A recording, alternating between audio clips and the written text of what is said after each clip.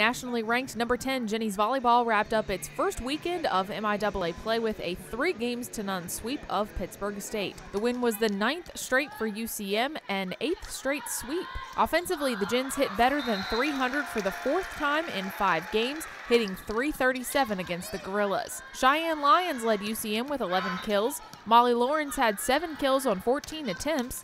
Mackenzie Harding, Maddie Jones, and Courtney Thompson all added six kills, and Thompson, the setter, had 30 assists. Defensively, the Gins held their opponent to less than 200 hitting for the eighth straight game, and against Pitt State, it was the fourth time in the last eight games the attack percentage was less than 10. The Gorillas hit just 7%, helped by 16 digs from Katie Carlson and a pair of blocks from Lawrence. The match started out tight, tied 7 7 in the first set, but then the Jennies kicked it into high gear and went on a 12 3 run to take a commanding 19 10 lead. UCM took set 1 25 13, helped by six kills from Lions. The Gins scored the first nine points of the second set and put that one away early, 25 17.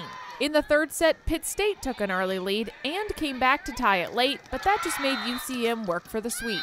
The Gorillas were up 7 to 3 at one point before the Gins took over the lead 9 to 8. UCM was up 25 to 15, but then Pitt went on a 5 to 1 run and retied the set at 21 all. The Gins scored the next 3 points on kills from Thompson, Abby Scrostons, and a service ace from Kylie Holan, then ended the match on Thompson's 6th kill. With the win, Jennies volleyball is now 12 and 2 on the season and 2 and 0 in the MIAA. UCM is on the road next weekend and back at the Multi on Tuesday, September 4th. Reporting for UCMathletics.com, I'm Katie Smith.